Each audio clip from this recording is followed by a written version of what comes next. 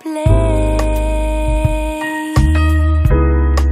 Forgive me as I gaze into your dark.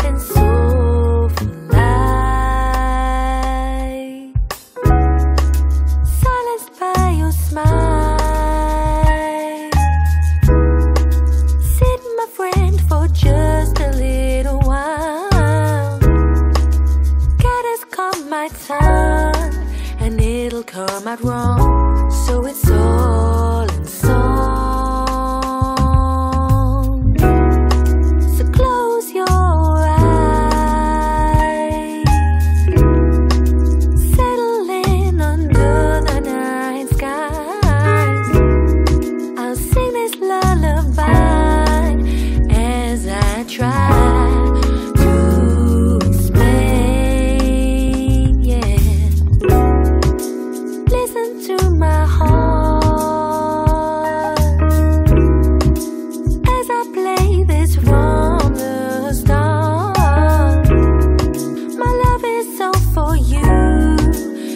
nothing I can do.